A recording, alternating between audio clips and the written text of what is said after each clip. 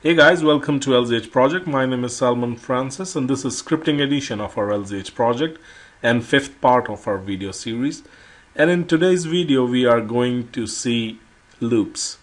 So uh, there are uh, like three kinds of loops in bash scripting, uh, for loop, while loop and until loop. And in this video, we are going to take a look at for loop. So let's start. For for loop, uh, we have this syntax to follow. Uh, first, we will we use the word for, then uh, the argument, then the list, and then um, we use the word do, then the action which we need to perform, and then at the end we use done. So let's see this thing in action. And for first mm, uh, uh, example I'm going to show you how you can write or how we can write a simple for loop to check users present in our etc passwd file or in any file. So let's create a file first. And I'm going to use Vim as my text editor so it can be more colorful so vim uh, let's call this file as for.sh okay? And as always we start it with a shebang header bin bash and you can write here the author.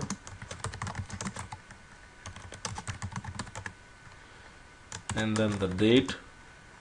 And today is 5th of May 2015 okay so to start for loop uh, first let's uh, define a variable. And I would like to define a file or a pass file. And I'm going to use backticks and we will use cat etc passwd file.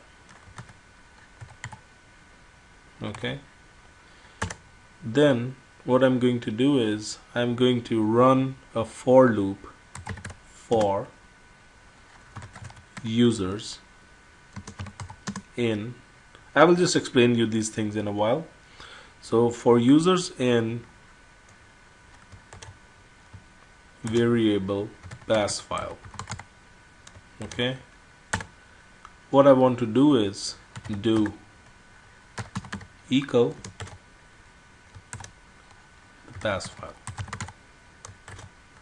and done. So what this file or this script is going to do first of all the pass file I'm going to I'm declaring this variable pass file which is equals to cat etc pass wd so this means that this variable will uh, this cat command will look into all the uh, data present in this etc passwd and then for users. This users you can use anything over here. Uh, it's going to store a temporary uh, very, uh, value in this uh, users. Uh, you can say it's kind of a variable also. And then for users in pass file like in this pass file all the users or all the data. You can write even for data. Let's say we call it data. For data in pass file do what? Just echo the pass file or print it on the standard out or our monitor.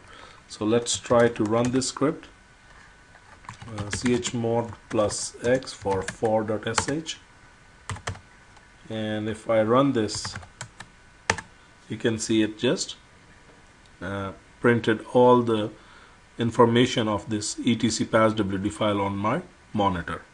Okay we can do the same with our uh, we can create another file let's say vim uh, users.txt and I'm going to create uh, let's say my username it pings hello world lzh project linux rules. Okay. And now I'm just going to change in the same script the name of this file. So it's going to just users.txt that's it. And now it's going to print out all the information in users.txt so that's how simple uh, for loop is and it this is how it basically iterates uh, through the data so let me give you a simple example uh, another simple example and I hope that you will understand it in a more proper fashion. So let's say we would like to uh, ping our three hosts. Uh, 92168.1.4 this is the local host. And then we have this is our gateway. Okay? And this is another machine Windows machine. Okay. So what I would like to do is I would like to write a script which can ping these uh, hosts in a uh, single line. I don't need to write all these hosts one by one and then uh, like it can waste my time if I'm just uh, writing all these hosts one by one. So what I'm going to do is I would like to create a script. Let's call it vim pinger.sh same with start with bin bash. Okay so again I'm just going to write um, like I'm not going to declare a variable over here. You can do it by yourself if you want but let's call it for IP in you can call it anything but 168.1.4 space 192.168.1.1 and 192.168.1.235 okay? So for IP in this is the list. So that's why I if you remember I told you earlier that the for loop starts with the word for then the argument in this case it's IP or where we declare the variable and for variable or for this specific data in the list. This is the list. So these three IPs are kind of a list. What we need to do with these IPs do and ping. Okay I'm just going to ping them one by one or like once so it doesn't flood anything. So what I want to do is for IP in this list ping these IPs that's it. Done. Okay let's ch mod plus x and pinger and now you'll see what will happen. There we have it. Perfect. So it just pinged all the hosts one by one and you can look at from the stats. Okay perfect so these are two examples the simple examples that how for loop works. And now we are going to do some fun stuff and what we are going to do is we will write our own brute forcer with bash script okay? And I would like to say here that this video is only for educational purpose and I will not be responsible for any damage done to anything. So let's start with this uh, our own brute forcer. Okay in order to create our own uh, brute forcer with this uh, in our bash script we would like to first uh, we need to download one package. The reason I will just uh, let you know in a moment but first uh, we need to download this SSH pass okay? So let's check if this our yum provides us SSH pass. If it's available yep that's good. So we have this SSH pass. Okay the reason is because whenever you are trying to SSH let's say SSH root at 192.168.1.3 and you you cannot provide a password on this line. Let's provide like password. See? First if you let's say you say yes you have to pro provide the password. So control C. And let's SSH and dash help. And here we have this option of binding providing the port but there is no option to provide the password uh, plain text password on the line. So that is the reason this is not very helpful in brute forcing. So what we would like to do is uh, we would like to create a password file okay? And then we need to iterate all our like we will run a for loop which will iterate all through all those passwords and one weapon it will try, try all the combinations. So that's why I have downloaded this SSH pass. Okay now let's create a file uh, password.txt and let's add some passwords here. Um, let's say LZH LZH projects ABC 123 it pings it ping. Okay. And cell 123 like stuff like that. Okay. That's it. And then we will start our script so let's call this script brute forcer again guys I'm just uh, would like to remind you that I take no responsibility for any kind of damage done to your system or in any way and you are doing it at your own risk and your own responsibility. This uh, video is only for demo purpose or educational purpose. So let's start our brute forcing script.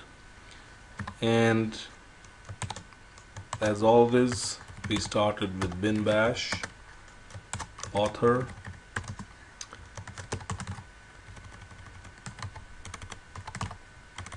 Come on. Okay and date if you wish. And you can write your description. This is a educational script for brute forcing. And I take no, no responsibility for any damage done. Okay so what I'm going to do is I'm just going to write for passwd in cat password.txt was our file. So what I need to do do ssh pass hyphen p. Okay in this case passwd is the variable this one. So what it's going to do it's going to for passwd in cat password.txt so in this variable it's going to store the value of cat passwd uh, password.txt and this variable I'm going to use here. So ssh dash p dash password. Okay and then I'm going to use simple SSH root at uh, the IP address where I would like to brute force. 1.3 and done. That's it. This is our simple brute forcer. So let's check if uh, well SSH is working. And let's make our script executable. Uh, brute force yeah. And now for the magic moment let's see if it works. Brute forcer.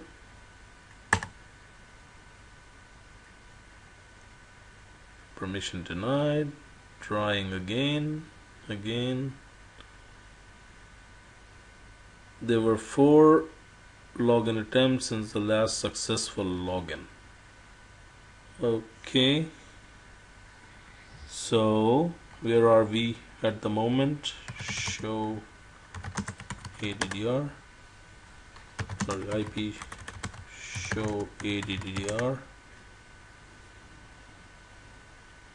oh sorry about that. And I think yes we are in 1.3 you can see that our SSH attempt is successful. That's perfect. If I just exit out you can see that the connection is closed and we are back in our Gluster 2 perfect. So we can try it again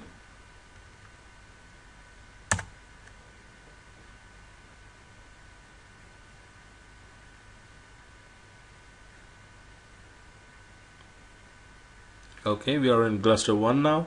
You can see that there were seven failed login attempts since the last successful login. So we are we have successfully accomplished our task and we have successfully created our brute forcer for SSH so that's the end of this video. I hope you have enjoyed it. Please do subscribe to my YouTube channel and I'll see you in our sixth video of bash scripting. Thank you